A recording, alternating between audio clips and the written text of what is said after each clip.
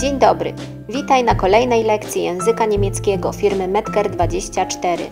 Na poprzedniej lekcji nauczyłeś się zwrotów i słówek związanych z rehabilitacją seniora. Dzisiaj zajmiemy się nowym tematem. Na lekcji 12 poznasz słownictwo związane z przeziębieniem. Was für ein schöner Tag, Frau Bożena. Das stimmt. Die Sonne scheint, der Himmel ist blau. Hatschi. Herr Einig, sind Sie etwa krank?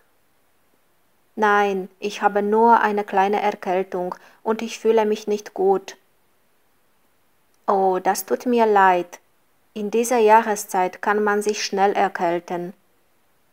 Das stimmt. Ich habe Schnupfen, Halsschmerzen und Husten. Wollen Sie zum Arzt fahren? Nein, so schlimm ist es auch nicht. In Ordnung.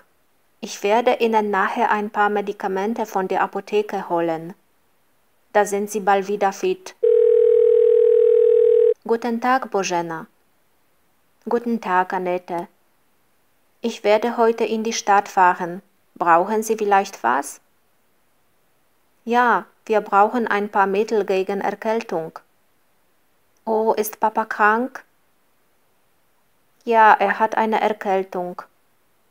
Welche Symptome hat er denn? Er hat Schnupfen, Halsschmerzen und Husten. Okay, dann kaufe ich ihm einen Hustensaft, Nasentropfen und Lutschtabletten. Vielen Dank. Ich werde in circa einer Stunde da sein. Auf Wiedersehen. Auf Wiedersehen. Dziękujemy za wysłuchanie naszej lekcji oraz wykonanie ćwiczeń. Na następnej lekcji numer 13 poznasz słownictwo dotyczące zakupów oraz nazwy niektórych warzyw i owoców. Zapraszamy serdecznie do nauki języka niemieckiego razem z firmą Metker24.